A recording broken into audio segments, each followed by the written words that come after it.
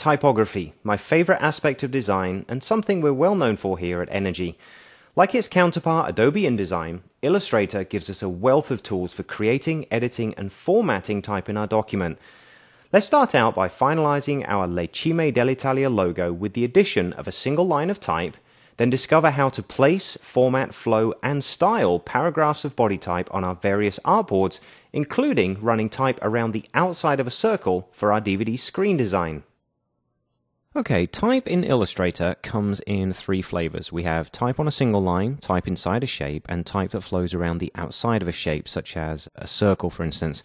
Now, we're going to use all three of these techniques to add the text copy to our designs. Now, we're going to start out by using a single line of type as a tagline for our main Italia logo over here and on each page. We're going to create basically a logo type. Now, the name of our bicycle tour company is called Le Cime dell'Italia, which I think I mentioned earlier means the tops of Italy. Cime is a term used in cycling circles to describe the summits of the highest mountains, which is perfect for this project. So we're going to use a single line of type to sort of finalize this logo. So if we come over here into the tools panel, you can see we have a type tool. And if we click and hold on it, little bit surprising, we have six tools to choose from. Well, it's not as large as it seems when you access this menu.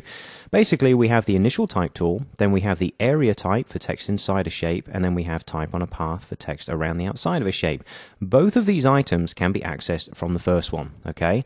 The other three that we have down here are for Asian markets and Asian type. You know, we can do vertically arranged type on the page, again, using those same three flavors of single line, inside a path, and outside of a path, okay? So in this instance, we're only going to use the type tool at the top. All right, perfect. Now we do want to make sure that over in our layers panel we are on the top logos layer because the first line of type we apply is going to be part of a logo and not part of the general type that will appear here in our columns and over here on our A4 page.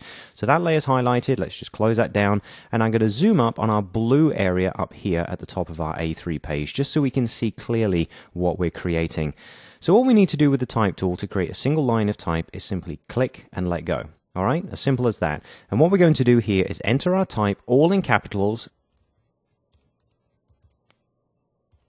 and spell out Le Cime del and put a small apostrophe on the end because then that carries on into the word Italia. Okay, so we've generated our type. Now we want to go back to the main selection tool. Oddly enough, this is one of the places in Illustrator where you cannot use the V key to do so. And why not?